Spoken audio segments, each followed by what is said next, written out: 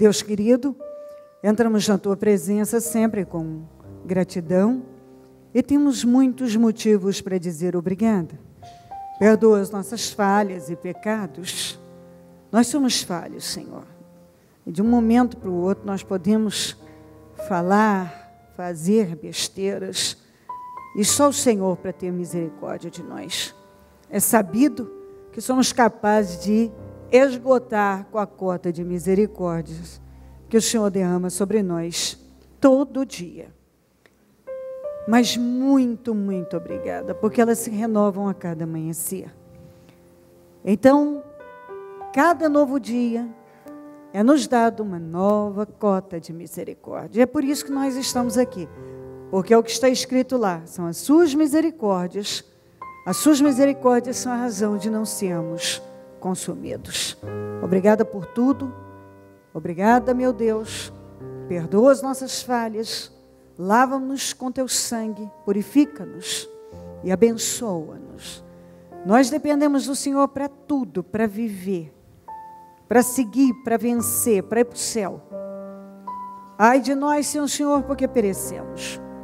Então, nos ajuda que esta reunião possa ser muito, muito produtiva absorção que seja total e que todos saiam, meu Deus, é, mais maduros, crescidos, com uma mente ainda mais renovar, renovada e ainda mais ampliada. Eu peço que o Senhor comande, dirija tudo e abençoe, que não haja mentes dispersas. Eu repreendo os dardos malignos, eu repreendo toda a força do inferno todo laço maligno. Eu quebro obras armadas, preparadas, arquitetadas, planejadas, organizadas contra nós, contra o seu povo, contra o ministério Mudança de Vida. Eu destruo no nome de Jesus. Eu quebro todas as obras do mal, desfaço a inveja, o olho gordo, a maldade, os praguejamentos. Eu destruo no teu nome. O teu sangue tem poder sobre nós. O teu sangue tem poder sobre nós, sobre o teu povo. O teu sangue nos garante a vitória, há poder no teu sangue. Nos cobre com teu sangue. Todo o seu povo. Envia anjos poderosos para acamparem ao nosso redor e nos proteja, nos dirija, nos comanda, comanda a nossa vida. Tem misericórdia de nós e nos proteja até de nós mesmos. Seja conosco. Obrigada por esta oportunidade sempre porque cada dia que nos dá e nós podemos estar na tua casa é uma maravilhosa oportunidade de crescer e avançarmos. E a ideia é andar em vitória. Então, são momentos como esse que nós temos condições, recebemos do Senhor tudo para andar em vitória. Muito obrigada, Deus. Fala com teu povo. Amém. Amém, amém estão ligadas às nossas vitórias. Você pega o Espírito. Que Espírito é esse?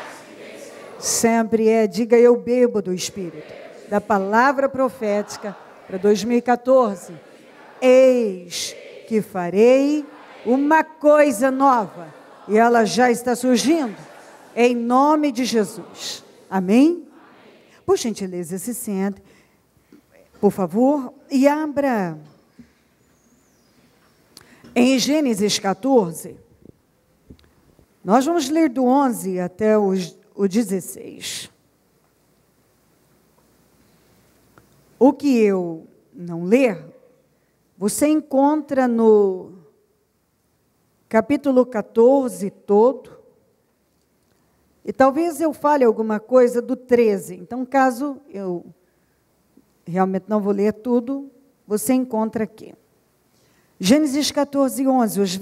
Os vencedores saquearam todos os bens de Sodoma e de Gomorra e todo o seu mantimento e partiram. Levaram também Ló, sobrinho de Abraão, de Abraão, e os bens que ele possuía. Diga comigo, visto que morava em Sodoma. Mas alguém que tinha escapado Veio e relatou tudo a Abrão, o hebreu, que vivia próximo aos carvalhos de Manri. O amorreu Manrei, os seus irmãos, Escol e Ania, eram aliados de Abrão.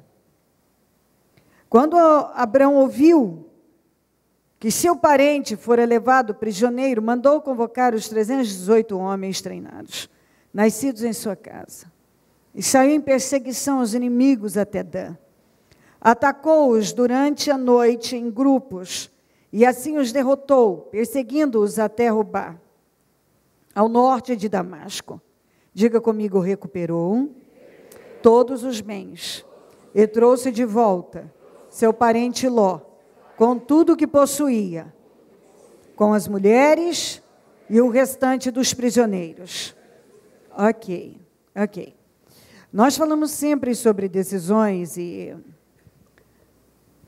É, e por todas as, as situações que nós vemos acontecer na vida das pessoas, onde elas estão, é, o que elas viveram, onde elas chegaram, a gente acompanha eh, na Bíblia e na vida hoje a trajetória, então, em cima das decisões que elas, as decisões que elas foram tomando, é, essas decisões conduziram a um determinado lugar. O, o Ló, no momento em que ele teve a oportunidade de escolher qualquer lugar do mundo bom para morar, ele decidiu ir para o pior lugar na época, o pior lugar da face da terra. Foi onde ele decidiu morar. Quando ele foi para lá, digamos que então ele não soubesse. Mas quando ele chegou, ele viu, e vou usar a expressão bíblica, que os homens, as pessoas de lá eram extremamente perversas diante do Senhor.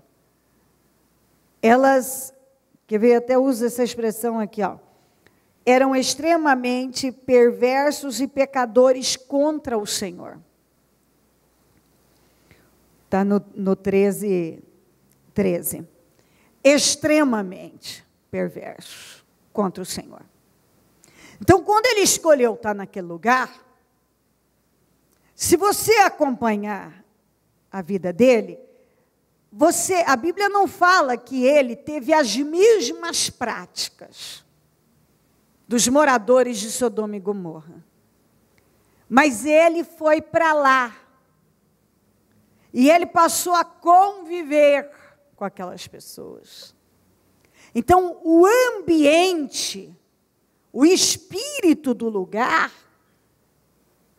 é, era totalmente fora, contra a vontade de Deus.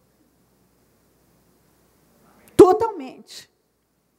Então, às vezes, as pessoas dizem assim, mas eu não estou não, mas eu estou fazendo certo, eu não estou errado, eu não estou pecando, eu não estou. Talvez. Bom, pecar todos nós pecamos o tempo todo. Mas, digamos, não, eu não estou fazendo isso, que elas olham. Eu não sou uma pessoa má, eu não faço maldade, eu não faço isso, eu não faço aquilo, aquelas coisas todas.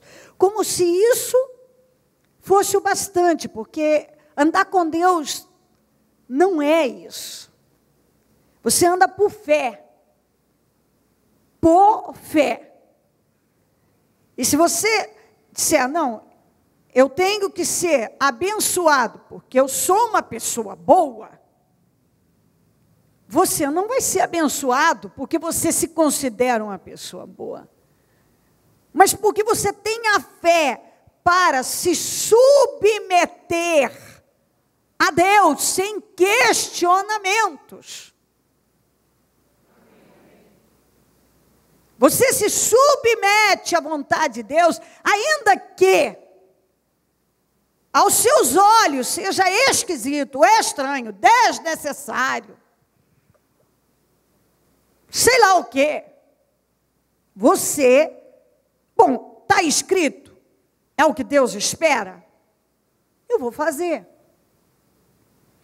Então as pessoas são abençoadas não porque elas elas julgam ser justas, boas, pessoas incríveis, honestas e tanta gente ruim nessa nesse mundo.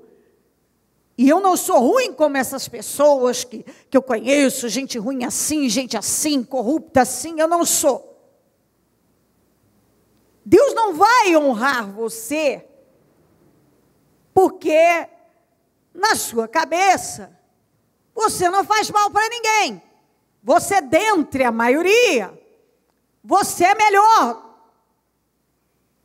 Você não faz essas coisas absurdas que você vê por aí nos noticiários, lá em Brasília, essa corrupção toda, essa maldade, isso e aquilo, tantas coisas ruins que tem por aí. Deus não nos abençoa. Porque eu tenho essa cabeça, porque eu olho para mim e diz, bom, dentre tantos, eu ainda eu sou melhor. Deus abençoa, Deus opera na vida de uma pessoa, porque ela se torna submissa a Deus. Porque se nós formos olhar para as nossas justiças, a Bíblia diz que as nossas justiças, aquilo que nós chamamos de justiça feita por nós, são como trapos de imundícia. Ou seja, nós podemos até na nossa cabeça estar, e até podemos estar fazendo coisas uh, bem melhores do que muitas pessoas mas nós continuamos, é, nós somos, por natureza, o ser humano, ele é miserável, ele é pecador, ele é imperfeito. Então, essa linha de pensamento não funciona, não cabe na vida daquele que decidiu andar por fé. Não, não cabe. Ele não cabe, esse, esse pensamento, essa, essa visão. Deve ser mudada, isso. Deve ser, é, é, isso tem que ser mudado. Que isso não funciona. De jeito nenhum. O que, que o Ló poderia alegar? Não. Eu moro em Sodoma, onde os homens, as pessoas são extremamente perversas, mas eu não faço o que eles fazem. Mas lá não era lugar para ele. Ele tinha toda a terra para ele escolher, e ele escolheu morar num lugar onde ninguém se voltava para Deus, ninguém estava interessado em ouvir a Deus, obedecer a Deus. Mas algumas pessoas acham que, bom, eu tenho Deus no meu coração. Eu estou em Sodoma, eu estou num ambiente é, ruim, com pessoas que não tem nada de Deus, mas meu coração é bom. É, eu não estou fazendo o que eles fazem. Eu não estou fazendo nenhuma, nenhuma perversidade aqui, não sei o quê. Deus nos deu cabeça para pensar. E você pode escolher entender as coisas ou ser cabeça dura. Você pode escolher aceitar como as coisas funcionam em Deus ou endurecer contra Deus. A Bíblia diz assim: quem endureceu contra Deus e teve paz? A Bíblia diz assim em Jó: nenhuma de mil coisas, você pede mil coisas para Deus, Ele não pode dar uma se você contender com Ele. Mil. Mas uma sua, umazinha de mil, senhor, não dou. Você está contendendo comigo.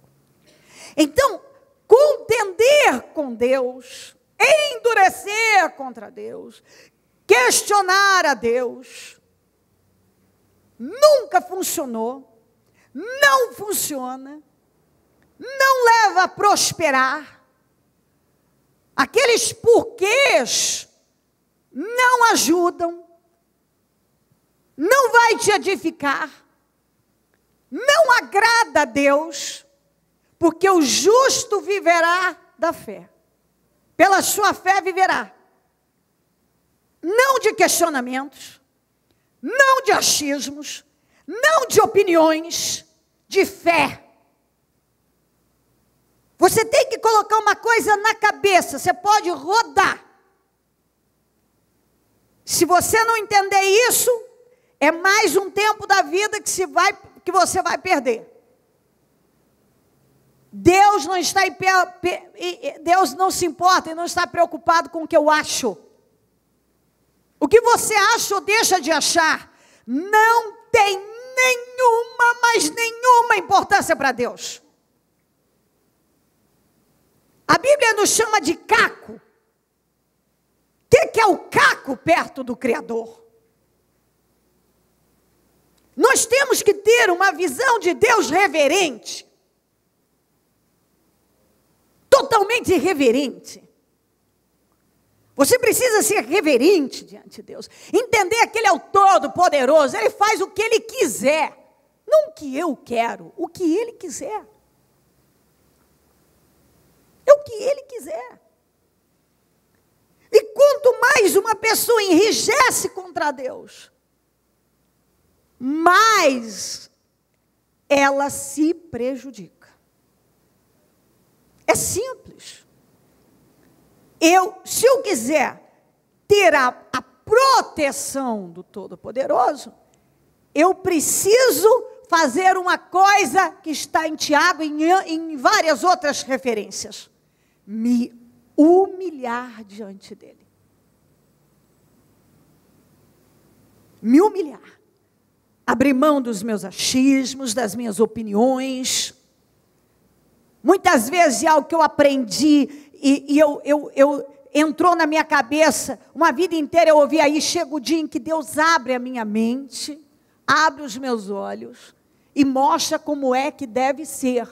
E eu tenho que ter a humildade e a capacidade de desaprender e aprender de novo. Ainda que eu tenha vivido 50, 60 anos com uma cabeça, quando eu encontro Deus, Deus não vai simplesmente aceitar, porque Abraão mudou a cabeça dele quando ele tinha 75 anos. Tudo que ele tinha aprendido, os deuses que ele tinha conhecido, a fé, o lugar, a visão, tudo ele deixou para trás. A casa dele, a família dele, a fé dele, que ele tinha vindo da Babilônia, então com, com certeza não tinha como ele não ter conhecido outros deuses, que a, Babilônia foi o centro da idolatria. E ele foi capaz de zerar aos 75 anos a vida dele. Quando para qualquer pessoa, aos 75, o que, que entra mais na cabeça do, de uma pessoa 75 é o que tem aí. Gente, eu vivi assim a vida inteira. Eu, é isso aí que eu acredito. Ele foi capaz de mudar. Entrou aquela fé. E tudo que Deus falou com ele aos 75 valeu. Ele fez valer. Então, essa coisa de que oh, são 30 anos, 40 anos da minha vida de um jeito. Muda. Não, não é fácil, alguém disse que é. Mas aí é que entra a fé. Aí é que entra a fé. Eu creio e me submeto. É isso que vai mudar a vida de uma pessoa. Ela crê e ela se submete. Então, não sei quantos anos o Ló tinha. Ele tinha uma fé no Senhor? Tinha. Ele tinha uma fé no Senhor. Mas do jeito dele. Tem gente que tem uma fé no Senhor, tem, mas a fé é do jeito dele. Com as escolhas dele, com a cabeça dele, onde ele quer ir, onde ele quer ficar, o que ele quer fazer, do jeito dele, da maneira dele. E que Deus me aceite do jeito que eu sou, sim. Ele te aceita quando você entra por aquela porta e não sabe de nada. Mas à medida que a palavra vai entrando, não adianta você achar que ele vai te aceitar. Do mesmo jeitinho de quando você entrou pela primeira vez, que não. Cada dia tem que haver mudanças. Eu te, eu, tem que me aceitar do meu jeito, porque é, é assim. Não, não, não, não, não, não, não. Deus te aceita do jeitinho que você está, pode estar tá assim, lambrecado do pecado. Do jeitinho que você entra sujo, acabado, tenha feito as piores coisas, Ele te recebe. E te ama e zera a tua vida como se você não tivesse feito nada. E não lembra mais do seu passado. Daí para diante, é o que ele falou para a mulher adúltera. Vai, minha filha, e não peques mais. Vai e não peques mais. Então, cada dia tem que haver uma mudança. Então, o Ló tinha uma fé? Tinha. Só que a fé dele era do jeito dele. Ele tinha uma fé em Deus, mas ele queria ser aceito do jeito dele. Ele não oferecia nada a Deus, nenhum altar, nenhum sacrifício. Ele estava no pior lugar do mundo na época, ele convivia com as piores pessoas, ele estava num ambiente ruim, num ambiente errado. Ele fazia o que os homens de Sodoma faziam? Não, a Bíblia não diz que ele fazia. Só que ele estava naquele ambiente, num ambiente perverso, que foi a ruína da família dele inteira e dele também. Então, aquele espírito a que rondava a vida dele, consequentemente, Deus estava em Sodoma? Deus estava em Sodoma? Não. Quando quatro reis atacaram Sodoma com seus exércitos, ele estava em Sodoma. Consequentemente, visto que morava em Sodoma, ele foi levado junto, foi sequestrado, foi levado prisioneiro, seus bens foram tomados, tudo foi junto. Por quê? Porque ele estava em Sodoma. Então eu, ele tinha uma fé no Deus de Abraão. Só que o Abraão vivia na submissão a Deus. Ele fazia as coisas do jeito dele. Deus tinha que aceitar ele do jeito dele. Consequentemente, ele não tinha a vida do Abraão. A proteção de Deus sobre Abraão era uma, a proteção sobre ele, aliás, não tinha proteção. Quando o, o, o, os, os, os, aqueles reis inimigos foram atacar Sodoma e Gomorra, levou todo mundo. Se ele não tivesse lá, ou seja, se não habitasse nele aquele espírito de Sodoma, aquele, aquele, aquele era o lugar em que ele estava. E às vezes a pessoa está no lugar errado espiritualmente, mas ela quer ser tratada por Deus como um que está no lugar certo. Eu estou me fazendo entender? Ela quer. Eu, eu chego, peraí, eu, o, o, a pessoa paga um preço, olha, vamos pegar o Abraão e Ló. O Abraão pagava um preço em Deus de renúncia, de entrega, de sacrifício. Então tem que, vamos lá, ok. Ó a pessoa, tem que jejuar. Jejua. Tem gente que não quer saber de jejum. Tem que dobrar o joelho, ficar de joelhos orando. Tem gente que ele está lá, orando, jejuando. O outro não quer saber. Ele só quer alimentar a carne. A pessoa está. Então, o problema da cidade de, de trânsito, e transporte, e chuva, e calor, e dificuldade, é para todo mundo. Só que para alguns é um problema. Para o outro, é um desafio que ele vence. Assim você vai vendo Abraão com Deus, se submetendo, sacrificando a vida dele, se doando. Ele era perfeito? Não. Mas ele vivia com um desejo de fazer o que Deus queria que ele fizesse. O Ló, qual o sacrifício do Ló? O que, que o Ló fazia? O que, que o Ló fez para Deus? Construiu um altar, não tem nada escrito. Invocou o nome do Senhor? Não está. escrito isso. Ofereceu sacrifício ao Senhor, também não está escrito.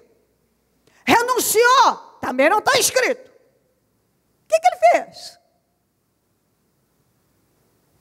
Onde é que ele estava quando ele foi sequestrado e seus bens tomados? Em Sodoma. Visto que estava em Sodoma, claro, Deus não estava em Sodoma. Dependendo do lugar em que você está espiritualmente, da sua condição espiritual, você não pode exigir isso tudo de Deus, não. Eu vou exigir de Deus, eu vou exigir de Deus. Exigir o que de Deus? Você faz as coisas, tem gente que faz as coisas só do jeito que quer e depois quer cobrar o que de Deus? Dá para Deus o que quer. Faz para Deus o que quer, a hora que quer, do jeito que quer, da maneira que quer. Ó oh, Deus, eu sou assim, se quiser assim. Então vai exigir o que de Deus? Na hora dos deveres com Deus, mas Deus tem que ter todo comprometimento com a pessoa. A pessoa não quer comprometimento com Deus, mas a, a, a, Deus tem que ter comprometimento de 100% com ela. Se você está em Sodoma, e, e, os, e os reis forem lá saquear e sequestrar os moradores de Sodoma, você vai ser levado junto. Então aí o, o, os bens são levados, a pessoa é levada. As coisas não dão certo, acontece, mas por quê? Onde é que você estava quando você foi sequestrado e seus bens sequestrados? Onde é que você estava? Em Sodoma, ah, meu filho, mas então, está reclamando do quê? Do quê?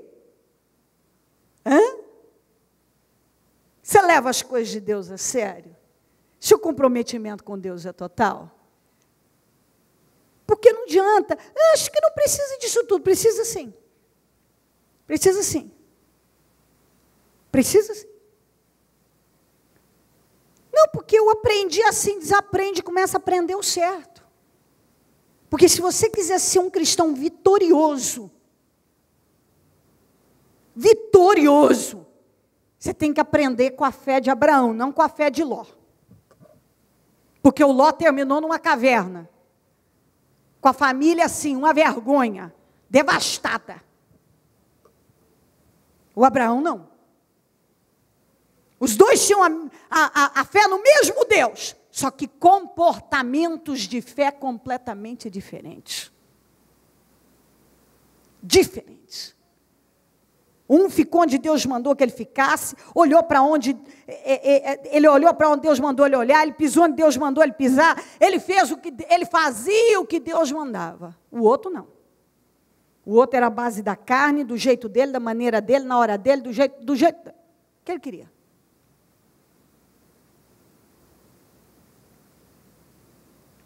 Foi levado.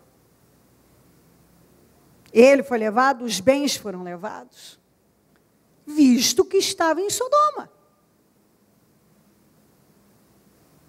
Se espiritualmente você está no lugar errado, não exija nada de Deus, não adianta, não adianta nenhuma reação contrária que para Deus não muda nada, só piora. Agora, deixa eu mostrar para você o que é uma pessoa de fé. O que é uma. Você está tá, tá, ter, ter um, um, um crédito com Deus. Lembra que eu ainda, eu acho que eu falei ontem, ou falei na minha reunião de sábado, não me lembro bem. Você deve prestar atenção com quem você faz alianças. Quando o, o, o Ló foi para Sodoma, de alguma forma, a aliança dele era com os homens de Sodoma, era com o povo de Sodoma. Ainda que ele alegasse que ele não tinha as mesmas práticas, mas era onde ele estava. Onde ele gostava de estar. Onde a carne dele pedia. Aí, eu não sei por que, que minha vida não muda. Você saiu de Sodoma?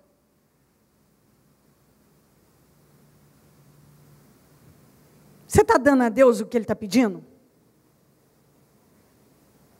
Você tem a fé do Abraão ou do Ló? Não sei, porque não sei o que. Porque eu acho, porque Deus, porque eu fiz isso. Onde é que você está espiritualmente? Você tem dado lugar para a palavra entrar? Você tem andado por fé? Com renúncias e comportamento e atitude dentro de uma fé viva?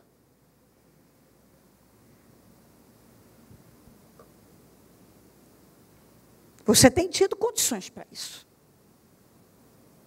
Como quem o Ló andou foi com Abraão, o pai da fé. Então, não venha dizer, o Ló dizer, eu não sabia, eu não, eu não sabia como agir. Sabia sim, porque ele teve exemplo. E um bom exemplo. Mas ele escolheu conviver com mau exemplo. São escolhas. Essas escolhas conduziram ele para uma derrota. Para essa situação de perda, de fracasso. Agora olha o Abraão. O Abraão. Esse homem fez aliança com Deus e, e Deus era com ele. E todo mundo que fazia aliança com ele era abençoado. Abençoarei os que te abençoarem. Quando você faz aliança com a pessoa certa, com o lugar certo, com Deus vivo, tudo que você fizer prosperará. Não vai ser fácil, não vai ser melzinho na chupeta, não tem nada de facilidade, mas você vai vencer todas as situações, como ele vencia. Quando chegou a notícia que o Ló tinha sido sequestrado com todos os seus bens e o povo de Sodoma, veja bem uma coisa: ter 318 servos criados em casa é muita coisa, mostra o nível de prosperidade dele. Porém, para enfrentar quatro reis com exércitos, é, proporcionalmente, ele não era nada. Era muita coisa. Ele era um homem extremamente abençoado. Mas para enfrentar uma guerra daquele tamanho, com aqueles reis e seus exércitos, proporcionalmente, não havia possibilidade. E você vê como é quando Deus é com uma pessoa. Quando a pessoa tem aliança com Deus, tem uma fé comprometida com Deus. Ele pegou os seus servos, os seus 318, foi à noite, atacou aqueles reis, recuperou todas aquelas pessoas, recuperou o seu parente, recuperou todos os bens. Se você analisar só por Deus uma coisa dessa. Só por Deus, se você ler no início aqui, eram quatro reis com seus exércitos. Ele fez uma, ele fez proezas. Ele fez algo muito, muito grande. Ele foi à guerra. Ele enfrentou uma guerra. Ele derrotou quatro reis com seus exércitos. Ele recuperou as pessoas. Ele recuperou seu parente. Ele recuperou todos os bens com apenas 318 homens. Que a Bíblia nem diz se eram treinados para a guerra. Que não creio que seja, porque a Bíblia não diz que eles tenham enfrentado algo parecido antes. Mas quando Deus é com uma pessoa, não tem para ninguém. Ela enfrenta coisas muito, muito maiores do que ela, e ela sai vitoriosa. Porque a proteção de Deus está sobre ela. A proteção estava sobre o Abraão. Consequentemente, tudo que ele fazia prosperava. Ele tinha êxito. Aqui nessa situação, ele teve 100% de êxito, de sucesso. Não teve uma perda. Ele recuperou absolutamente tudo e venceu aqueles reis. Voltou vitorioso. Porque a fé dele era uma fé comprometida. O relacionamento dele com Deus era fechado, era ele Deus, ele ouvia Deus, a vontade de Deus era lei. E aquele homem, com a fé que ele praticava comprometida, recuperou tudo. Tudo. E venceu aqueles inimigos que era algo muito maior do que ele. Quando uma pessoa tem uma fé comprometida, e, a, e aqui é o que eu quero mostrar para você. Quando uma pessoa, ela, você pode até, até o dia de hoje não ter tido uma fé comprometida, mas se você passar a ter a partir desse momento, as coisas mudam. As coisas são mudadas. As coisas são transformadas. Ele enfrentou algo muito maior do que ele e venceu totalmente. A Bíblia não diz que ele teve, inclusive a Bíblia não diz que ele teve problemas para vencer, se foi difícil isso, não, não. A Bíblia diz exatamente assim, que ele atacou à noite e recuperou, venceu aqueles inimigos, recuperou tudo recuperou as pessoas, recuperou o parente, recuperou os bens, quer dizer, todo aquele patrimônio que tinha sido levado das pessoas, do parente dele, do Ló. Ele recuperou tudo. Por quê? Porque, apesar de todas aquelas pessoas não, não estarem comprometidas com Deus, o Ló também não, mas ele estava. E quando uma pessoa tem um relacionamento com Deus, tem uma vida com Deus, o tratamento que ela tem por Deus é diferenciado.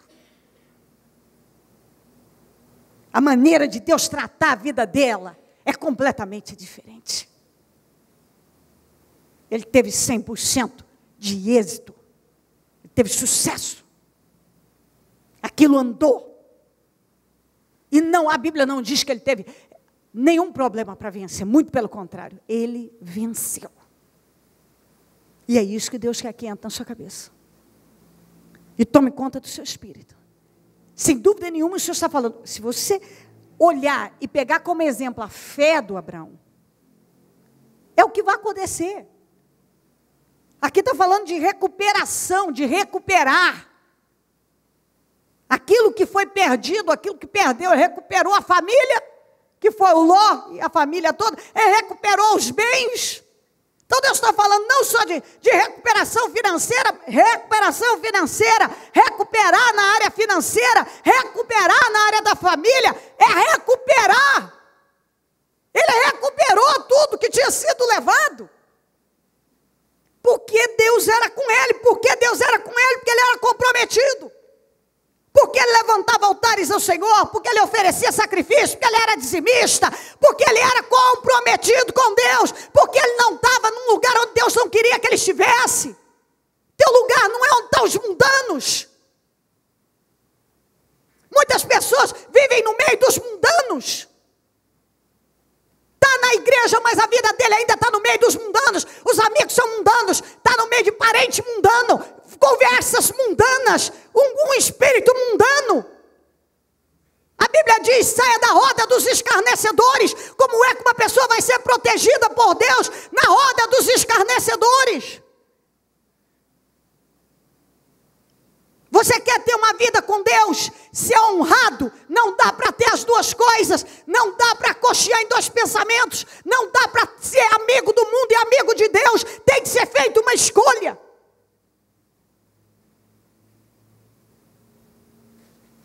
E a prioridade tem que ser Deus. Você quer sucesso? Deus tem tudo para te dar, como deu a Abraão. Mas o teu nível de comprometimento com Deus tem que ser superior. Superior. Muitos ainda não conseguem viver sem as, as delícias que o mundo apare, a, apresenta. Não consegue. Mas ele quer que Deus se comprometa com ele 100%. Não tem, não tem como. Não tem como. E se alguém não gostar, isso não muda nada para Deus. Nada. Eu quero tudo de Deus, mas quero quero continuar morando em Sodoma, eu quero meus amigos de Sodoma, eu quero. Tá, tá, tá, o ambiente de Sodoma é divertido, é uma coisa, eu quero estar tá lá. É lá onde eu é o lugar que eu quero estar, não tem como. Quando, quando aquilo vier um problema, quando algo acontecer, vai te atingir. vai atingir. A proteção do Senhor não está com quem está em Sodoma. Você quer a proteção de Deus? Você tem que estar onde Deus quer que você esteja. Espiritualmente.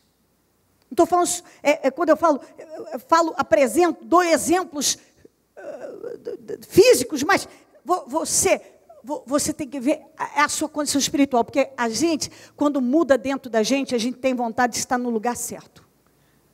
Quando uma pessoa ela é só atraída para coisas mundanas, é porque a cabeça dela é totalmente mundana. O espírito dela é mundano. Eu quero, eu quero a proteção de Deus, eu quero, eu quero vencer, eu quero ser um vitorioso, eu não aceito per, per, perder a minha família, eu não aceito perder o meu financeiro, os meus bens, e eu estou perdendo os meus bens, eu tô, a minha família, a minha vida familiar não está boa, a minha vida financeira também não está boa, mas onde é que você está? Você está onde Deus mandou você estar ou você está em Sodoma?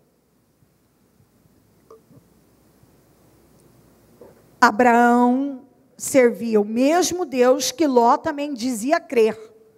E talvez até dizia servir.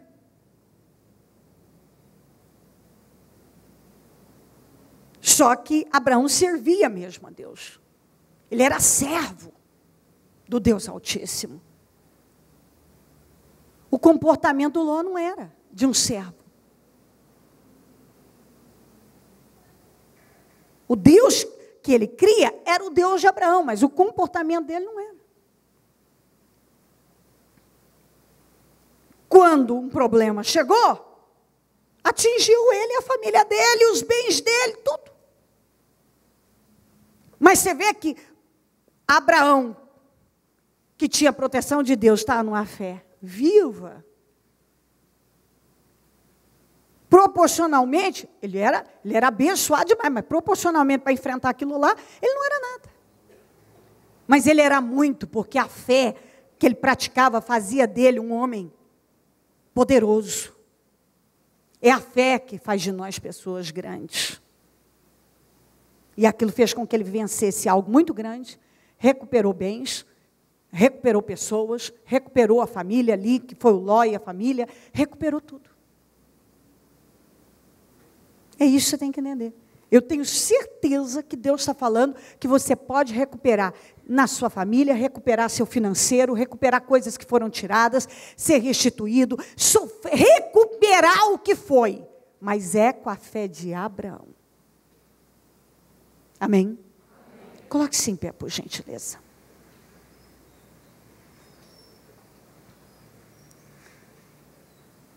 Liga o seu pensamento no céu que nós já vamos.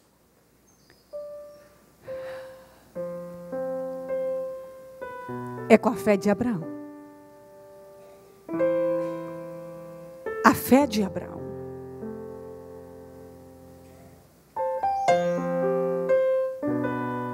Com a fé de Abraão, você pode tudo. Com a fé, com a fé do Abraão, ninguém te segura.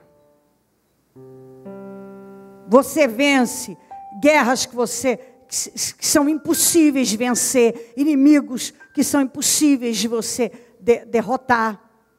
É, você recupera aquilo que foi tirado, que é, que é impossível recuperar aquilo, você recupera, é na família, é no, é no financeiro, porque o Abraão recuperou tudo, ele recuperou pessoas, ele recuperou família, ele recuperou financeiro, os bens que tinham sido levados. Então eu tenho certeza que Deus está tá garantindo a você que se você tiver uma fé assim, você vai recuperar na sua família, você vai recuperar o que foi perdido na família, você vai recuperar bens que foram tirados, você vai recuperar o que foi tirado, o que foi levado.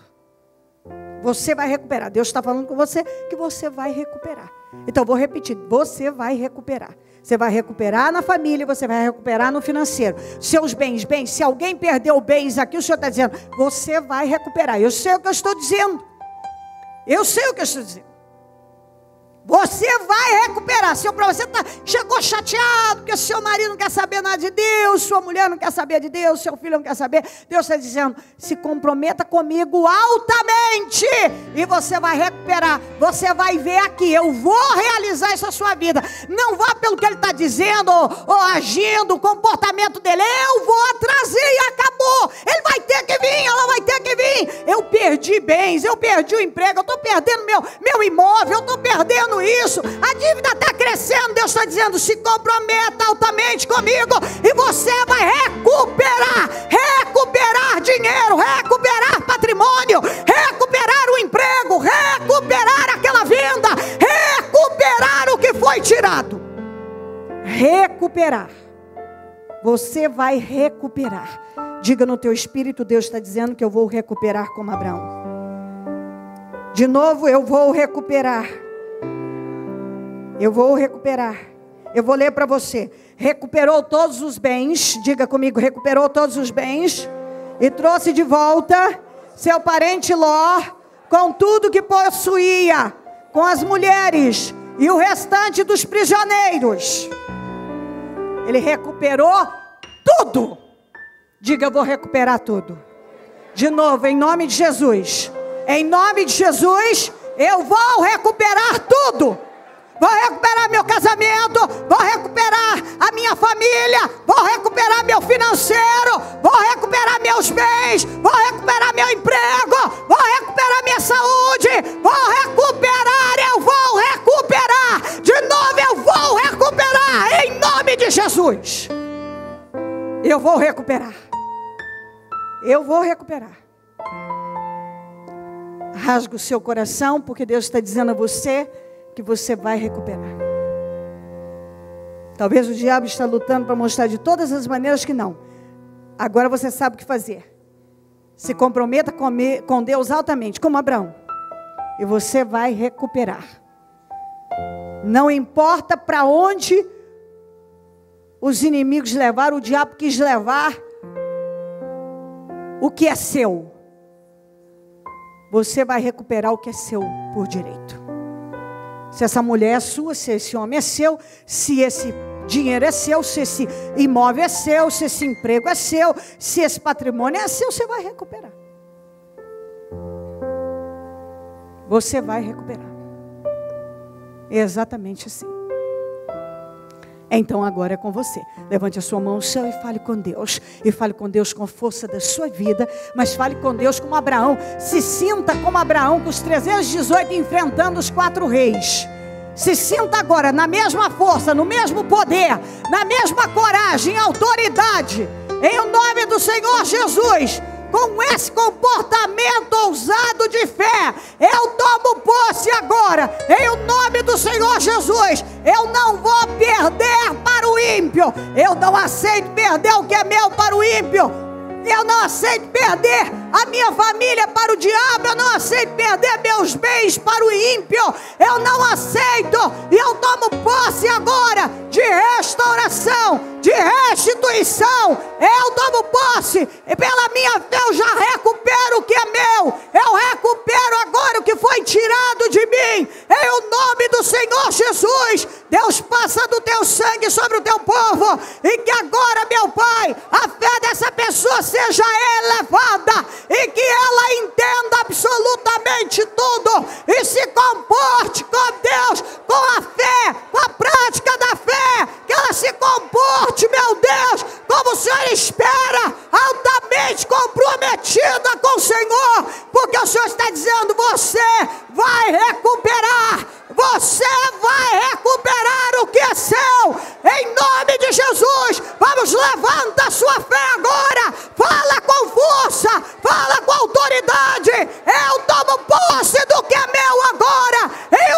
do Senhor Jesus. Senhor, vai trazendo para a vida dessa pessoa agora, meu Deus. Eu determino, em nome de Jesus, que aquilo que é dela volte. Eu determino agora que ela recupere o que é dela. Ela recupere o emprego, recupere o trabalho, recupere o dinheiro, recupere o patrimônio, recupere a família, recupere a autoestima, recupere a força, recupere em nome de Jesus. Eu determino que aquilo que é dela, ela recupere aquilo que foi tirado volte para as mãos dela, aquilo que foi arrancado, que volte para as mãos dela, em o nome do Senhor Jesus. Eu repreendo o espírito maligno que vem roubando a vida dela, roubando a fé, roubando a visão, roubando o comprometimento. Eu repreendo em nome de Jesus e eu determino a fé dela, uma fé comprometida, uma fé viva. Eu determino sobre ela o poder da restauração, que ela tenha força agora para se posicionar no Senhor e que aquilo que é dela, que ela recupere, que ela vença essa guerra, que ela vença esse problema, em o nome do Senhor Jesus, eu determino que volte para suas mãos aquilo que é seu, em nome de Jesus. Em nome de Jesus. Traga para você. Olhe para você com a fé do Abraão. Olha o Abraão reagindo. Ele teve a notícia.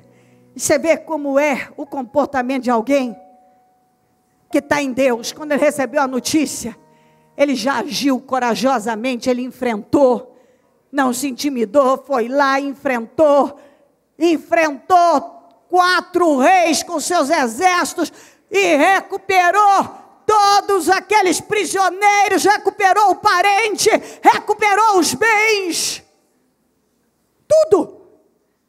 Porque isso é isso é o comportamento de quem anda com Deus. Há um nível de segurança, de coragem, de autoridade que surpreende. O comportamento da pessoa é, é, é, é, é surpreendente.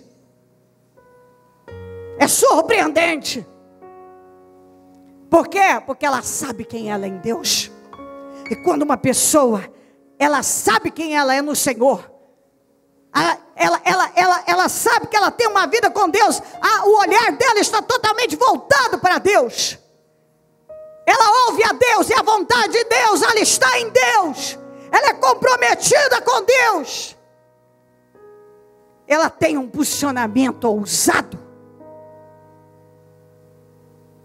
E esse, essa, essa, essa ousadia vem de um relacionamento sério com Deus. Aleluia. Quando uma pessoa tem um relacionamento sério com Deus, ela não tem medo, ela enfrenta. O que nos intimida, o que nos enfraquece, é quando você sabe que o seu relacionamento com Deus não é sério. Porque quando é sério, você não tem problema, você enfrenta, porque você sabe que Deus vai ser com você. Você vai recuperar. Então toma posse e recupera aí o que é seu pela fé, porque não tem erro. Já pode pegar os seus 318 e, e enfrentar os quatro reis, porque você vai recuperar o que é seu. Seja família, seja financeiro, sei lá o que. Eu não sei o que você precisa recuperar, mas o Espírito Santo está dizendo que você vai recuperar você vai recuperar. Então você pode pegar essa palavra, porque talvez o capeta está mostrando que agora é o fim. E Deus volta e diz para você: se comprometa comigo altamente, você vai recuperar. Algo sobrenatural vai acontecer. Você vai recuperar. É essa palavra que tem que bater e dominar seu espírito. Eu vou recuperar o que é meu. Eu vou recuperar com a tua mão estendida para a direção de você, precisa que algo seja mudado. Que algo aconteça. Então, ao invés de você lamentar, enfraquecer, ficar, por quê, meu Deus? Por quê? Estende a mão e dê uma ordem. Pega os 318 e ataca à noite esses quatro reis. Levanta a mão e dê uma ordem agora.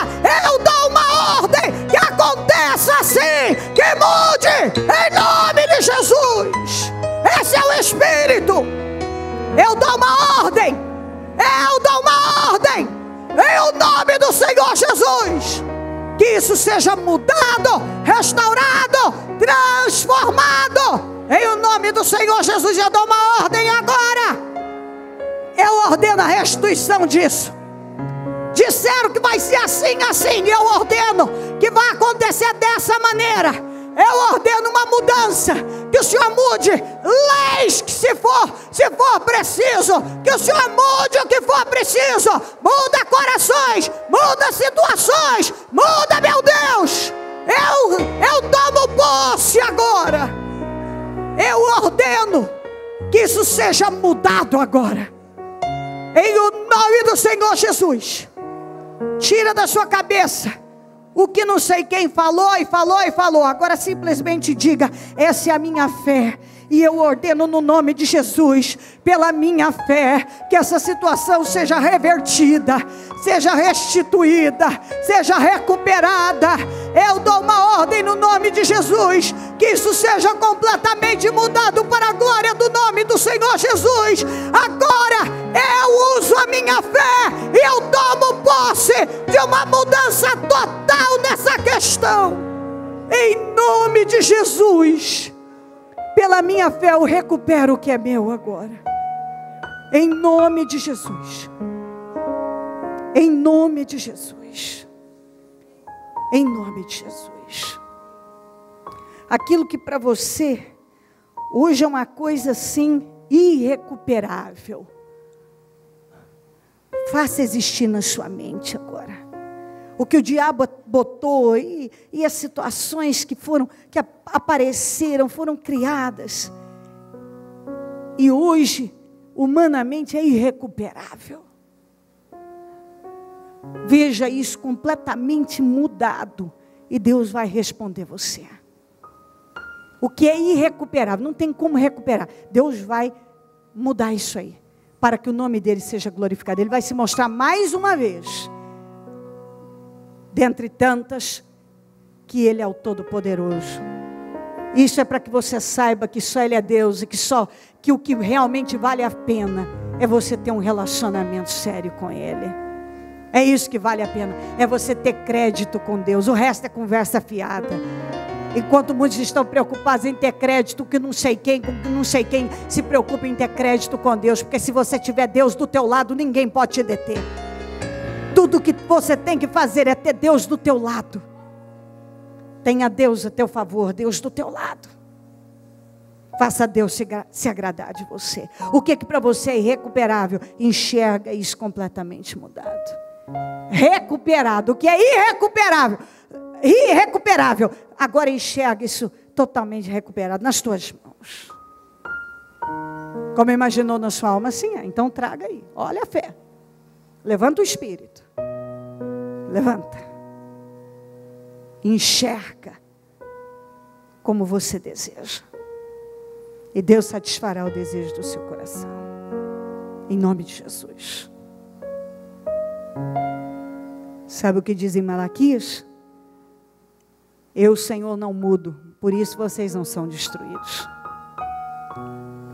A gente muda o tempo todo, agimos de forma estúpida. Mas eu, Senhor, não mudo, por isso vocês não são consumidos. Uau! Eu, Senhor, não mudo. Então, vocês não serão consumidos. Vamos dar as mãos e fazer a oração da concordância. Ó Deus de Israel, neste momento, com a nossa fé totalmente voltada para o Senhor nós concordamos com todas as mudanças, milagres, transformações, restituições, tudo que foi tomado, recuperado para a glória do teu nome, em o nome do Senhor Jesus. Nós concordamos com essa pessoa recuperando o que é dela, em o nome do Senhor Jesus, recuperando o que é dela nós ligamos aqui na terra essas vitórias para que sejam ligadas no céu. E nós desligamos tudo que veio para entristecer, roubar, desanimar, matar a fé, tirá-la da posição. Nós desligamos aqui na terra para que sejam desligados no céu e decretamos vitória sobre a vida do teu povo em nome de Jesus. Em nome de Jesus Cristo. Amém. Amém e amém. Diga, pela minha fé eu já recuperei o que é meu. Então diga para essa pessoa, pela minha fé você já recuperou o que é seu. Eu creio nisso. Em nome de Jesus. Em nome de Jesus Cristo.